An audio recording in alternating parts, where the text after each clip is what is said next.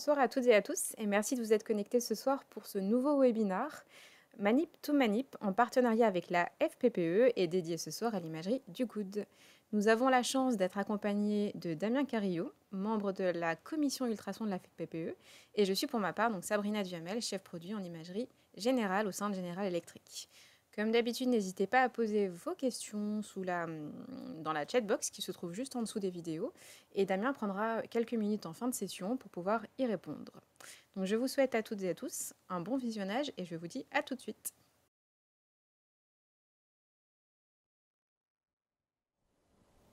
Bonjour, je m'appelle Damien Cario, je suis Manipeco depuis 2018 et je vais vous proposer aujourd'hui les trucs et astuces pour l'échographie du coude. Avant de commencer, je voudrais remercier euh, la société euh, General Electric pour son soutien auprès de la commission ultrason de la FPPE. Je voudrais remercier plus particulièrement Sabrina Duhamel qui nous a bien aidés en tout cas dans nos, dans nos démarches. Merci à tous les membres de la commission et à tous les membres de la FPPE.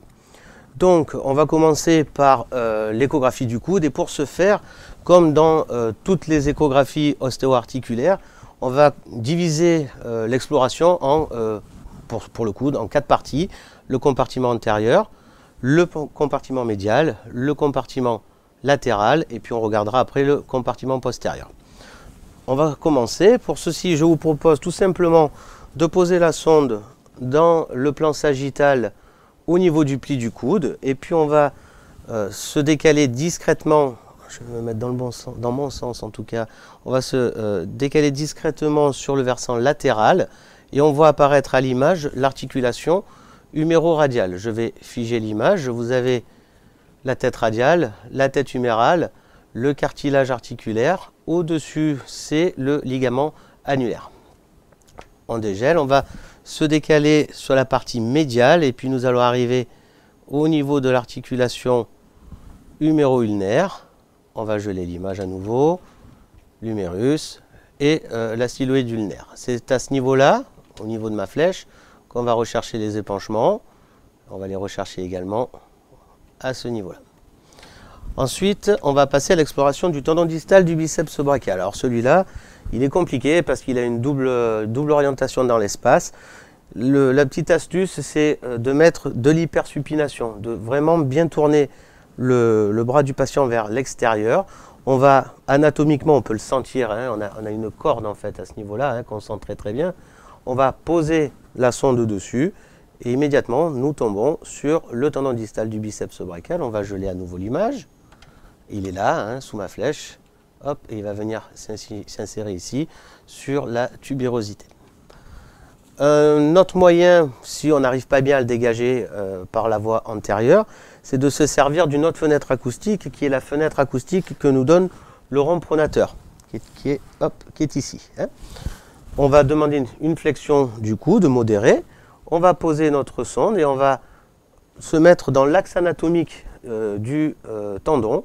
Et on va le voir arriver. Voilà, il est juste ici. On va essayer de le dégager un tout petit peu mieux. Il est là. Voilà.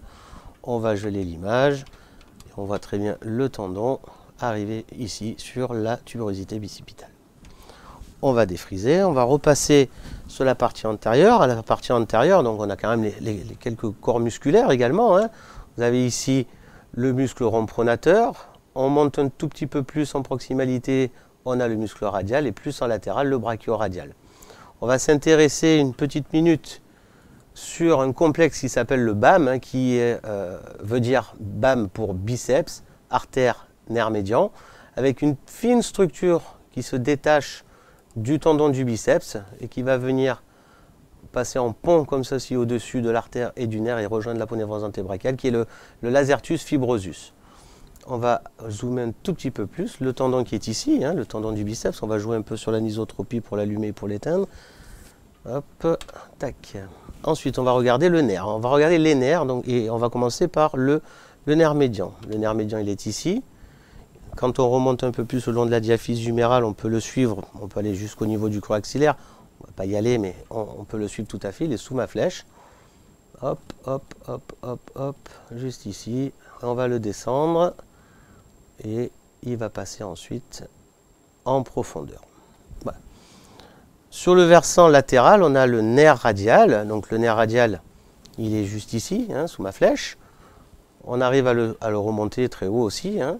On va descendre et on va voir qu'à un moment, voilà, à ce niveau-là, ils viennent se, se, diviser en deux branches. La branche postérieure du nerf radial hein, qui est motrice et la branche antérieure du nerf radial qui est sensitive. La branche postérieure, on va la suivre et elle va passer entre les deux chefs musculaires du supinateur, le, euh, chef superficiel, le chef profond. On va pas très bien ici le nerf. Alors la petite astuce, c'est de mettre de la pronation. Voilà, on fait juste une pronation de la main, on garde la sonde centrée sur la branche postérieure et vous voyez très bien que le, corps musculaire du supinateur superficiel va se mettre en dessus et va nous donner une fenêtre acoustique qui va nous donner une meilleure résolution de cette branche postérieure qu'on pourra suivre jusqu'en distalité avec ces petites branches de division. On va remettre de la supination et on va suivre maintenant la branche antérieure du nerf radial qui est ici, hein, qui va descendre et qui va aller perforer, on la suit ici, on continue à la suivre et elle va, on va mettre un petit peu de gel, hop, voilà, elle est toujours sous ma flèche et elle va aller perforer la peau névrose antébrachiale, voilà, elle est ici, et elle va sortir à ce niveau-là.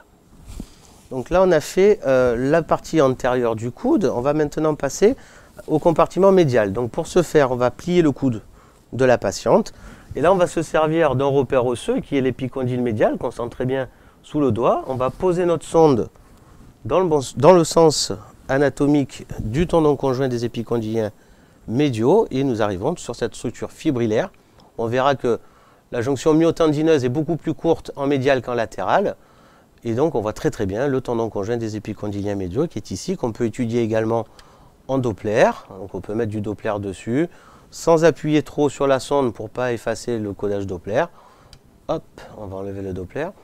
Plus en profondeur, vous avez le ligament euh, collatéral ulnaire avec son faisceau antérieur. Alors, il faut parfois béquer un peu la sonde, jouer un peu sur la flexion du bras. Et je pense qu'il est là, en fait. On le, voit ici.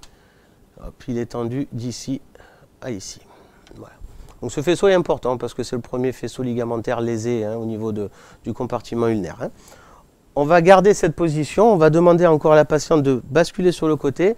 On va placer notre sonde derrière l'épicondyle médial et on va arriver sur une structure à ce niveau-là hypoécogène qui est le nerf ulnaire, hein, centré dans la gouttière cubitale. Ce nerf ulnaire, il a euh, normalement des surfaces de section, on peut faire des mesures. Ce qui est important, c'est évidemment l'aspect comparatif, la comparaison avec la clinique, mais surtout c'est de vérifier sa stabilité. Pour ceci, je vous propose de faire une flexion maximale du coude. Vous voyez que le nerf a tendance chez notre mannequin à passer en avant de l'épicondyle médial. C'est absolument pas pathologique, hein. c'est extrêmement fréquent. Euh, un grand pourcentage de la population a ce truc. la chose importante, si vraiment le nerf se luxe en avant, il faut signaler aussi le passage euh, du contingent musculaire médial, du triceps euh, médial, hein, qui est, hop, je vais vous le montrer, il est là. Voilà, si ce contingent musculaire passe, il faut le signaler. Donc on a vu le compartiment antérieur, le compartiment médial. On va passer maintenant au tendon conjoint des épicondyliens latéraux. Pour ce faire, on demande à la patiente de plier le coude à 90 degrés la paume des mains, les mains bien ouvertes. Hein, voilà, comme ça. Si on ferme la main, on annule le Doppler sur le tendon conjoint. Pareil, on se sert du relief osseux des épicondyliens latéraux. On pose la sonde dessus, dans l'axe du ligament, et on voit apparaître à l'écran l'ensemble euh, des faisceaux du tendon conjoint des épicondyliens latéraux qu'on peut différencier avec euh, l'extenseur le, lunaire du carpe, le fléchisseur radial du carpe, le, pardon, le long extenseur radial du carpe, le court extenseur radial du carpe, l'extenseur euh, euh, commun des doigts, l'extenseur propre du 5, le supinateur. Bon, on va zoomer un petit peu dessus. Voilà. Et on voit très très bien ce tendon. Pareil, on va l'étudier en euh, Doppler. bon, là on est en Doppler puissance, on peut du Doppler couleur. On va regarder s'il est hyperémique ou pas. Le plan ligamentaire est beaucoup plus compliqué à voir. Hein. Il est plus en profondeur. Il est très adhérent au plan tendineux. Donc c'est très compliqué à voir, à part s'il y a de la pathologie, c'est un peu plus facile. Et là, c'est très difficile. On peut faire des petites astuces, c'est de, faire de jouer un petit peu avec l'artefact d'anisotropie pour essayer de voir une structure qui se comporte, on va dire, en profondeur un peu différemment. Alors on pourrait imaginer qu'il est là, mais voilà, il est, quelque part par ici, ce plan ligamentaire. On va enlever ça. Hop. Voilà. Ensuite, une fois qu'on a regardé ce tendon conjoint des épicondyliens latéraux, on va passer au compartiment postérieur. Donc pour ce faire, vas-y, on va se mettre comme tout à l'heure, la paume de la main à plat, le coude plié à 90 degrés et on va positionner notre sonde tout simplement comme ceci. Hop, on va mettre un peu plus de gel parce qu'il n'y en a pas beaucoup. On va positionner notre sonde dans ce sens-là et puis on, arrive ici au niveau du tendon euh, du triceps brachial. On peut remonter, on a à ce niveau-là le récessus rétro crânien avec la graisse rétro crânienne. Et on a ici les trois chefs musculaires du triceps brachial qui viennent s'insérer et qui viennent se rejoindre pour former le tendon distal du euh, triceps brachial. On peut également étudier dans ce sens-là le nerf ulnaire.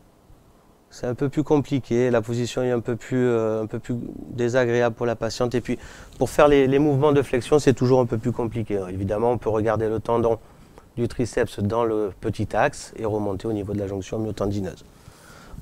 Voilà, c'est bon. Donc, voilà, j'espère que, j'espère que ça vous aura permis de comprendre un peu mieux les structures anatomiques euh, du coude. Il y a énormément de structures la plupart du temps, euh, c'est vraiment euh, les patients qui sont adressés pour des épicondylites latérales, mais vous voyez qu'il y a énormément de, structures anatomiques et beaucoup de, pathologies peuvent être imbriquées. Donc il faut essayer d'avoir un plan systématique, de regarder un peu toutes les structures, évidemment d'avoir des radios avec, évidemment d'être comparatif systématiquement. Et ça devrait normalement, vous devriez vous en sortir avec les quelques petits repères que je vous ai donnés. Je remercie encore une fois euh, Général Electric, je remercie encore la commission ultrason de la FPPE l'ensemble de mes radiologues euh, qui m'ont énormément aidé, qui m'ont énormément appris.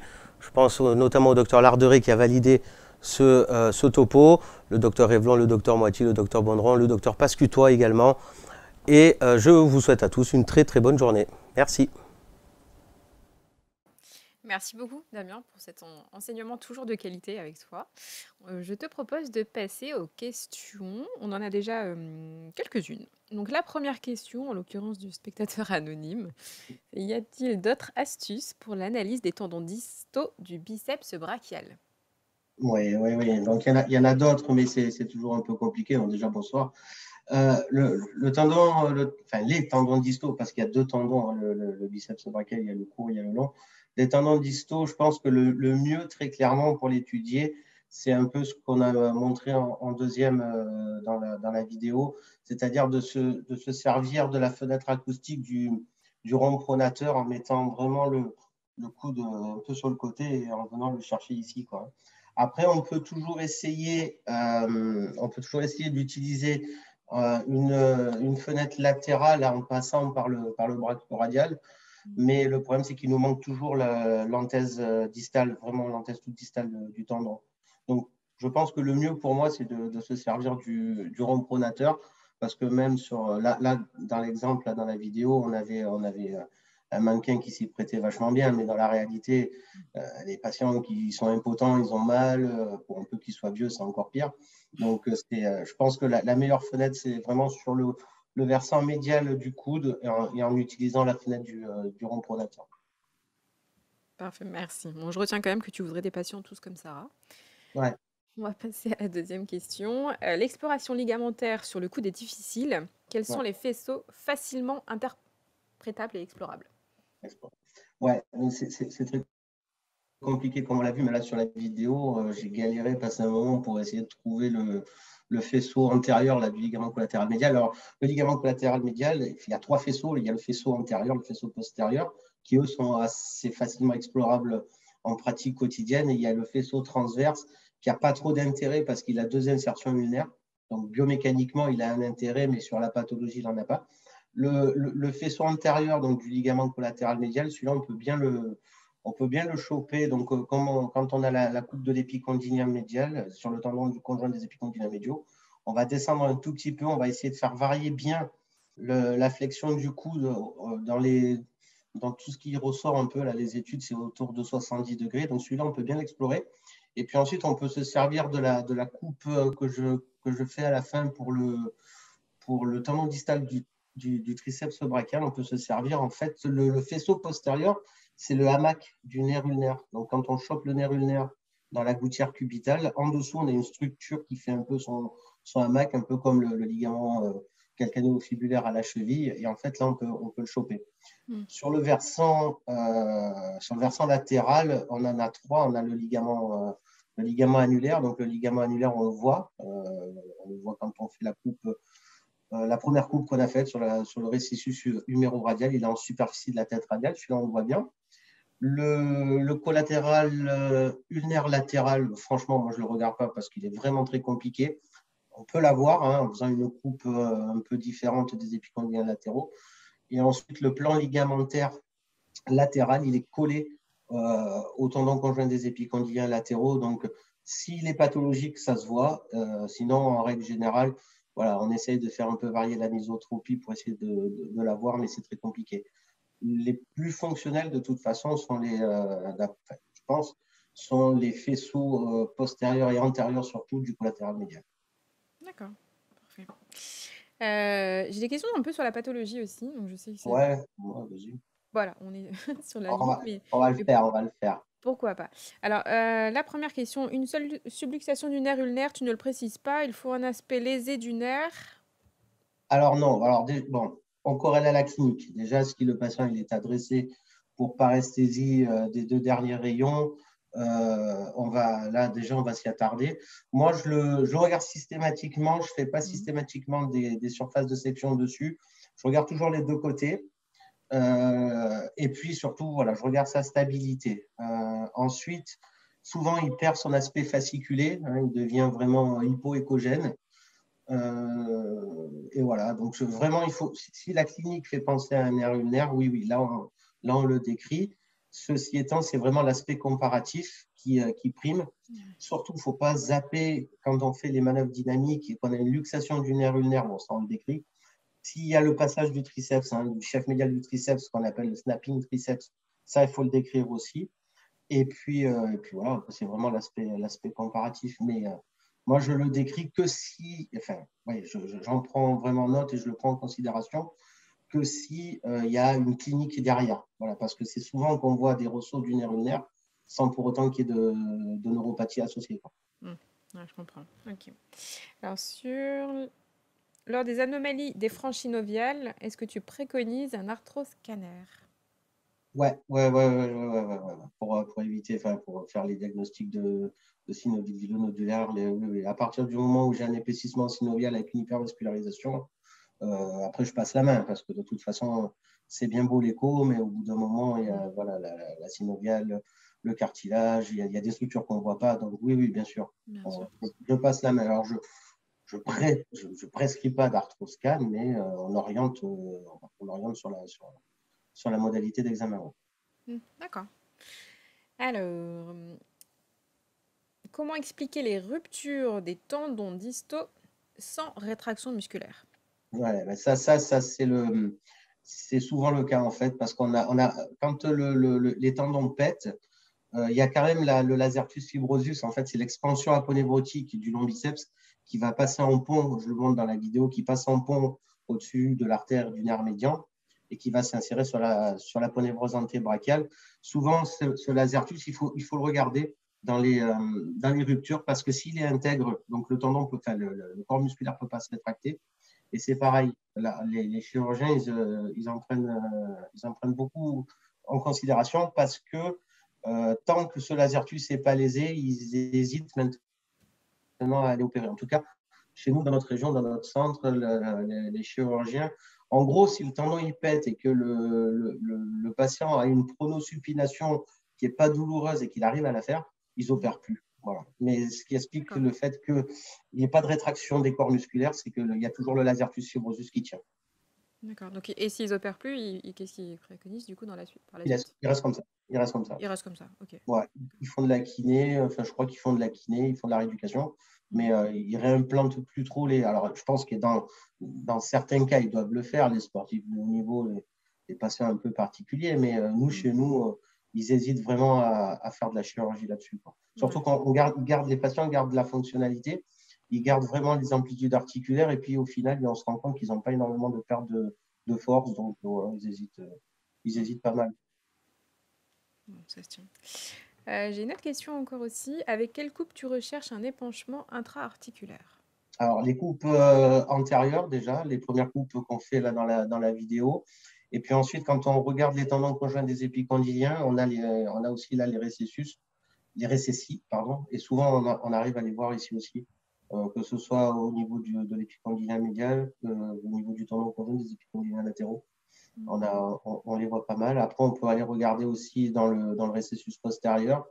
Mais bon, en principe, les déclenchements, on les voit, ça, ça saute pas mal aux yeux quand même. Hein. Et eh ben écoute, on a terminé en tout cas pour les questions euh, sur le, la chatbox. N'hésitez pas à poser d'autres questions éventuellement, on peut encore y répondre par écrit euh, avec Damien.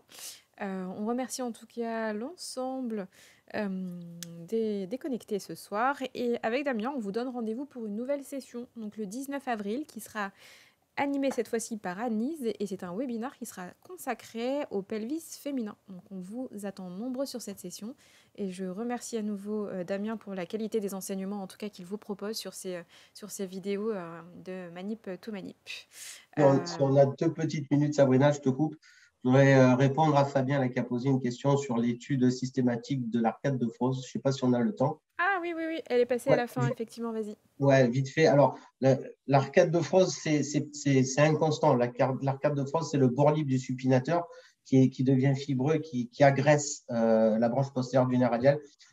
Euh, on sait que euh, cet épaississement, il n'est pas significatif en soi parce que énormément de, de gens l'ont. Et alors oui, je le regarde. Si c'est épaissi et qu'il y a une corrélation avec la clinique, je le signale, mais c'est pas spécifique. Et l'arcade de Fros n'est pas présent chez tout le monde. L'arcade de Frost, c'est vraiment la, partie fibreuse, c'est le, bord libre du supinateur qui va devenir fibreux et qui va agresser la, branche postérieure du nerf radial à ce niveau-là. Ceci étant, voilà, c'est pas significatif, euh, d'après ce qu'on m'a enseigné, d'après ce que je sais, l'épaississement focal euh, n'est pas significatif si ce n'est pas corrélé à la clinique. Voilà. Bah, écoute, merci parce que je l'avais, je l'avais pas vu. Et alors attends parce que du coup, bah, il, est content, il est content en tout cas de ta réponse. Eh ben, alors on l'embrasse bien fort. Bah, merci. à tous en tout cas de nous avoir suivis. Merci beaucoup Damien. Merci Je sais pas si tu, tu, je te laisse, je te laisse clôturer en tout cas la vidéo. Ouais, bah, écoute encore une fois merci à, merci à, à vous, merci à G. Euh, et puis euh, aussi pour faire passer le mot qu'on fait une petite formation aussi en partenariat avec G. Euh, les 12 et 13 mai euh, en parallèle des journées scientifiques de Nancy. Donc, euh, si ça vous intéresse, on y sera. On va vous former sur l'ostéo, le Doppler, l'abdo-pelve. Donc, voilà, n'hésitez pas. Il y a les renseignements sur la page de la FPPE. Donc, encore merci à tous et puis on se donne rendez-vous bientôt pour de prochaines aventures.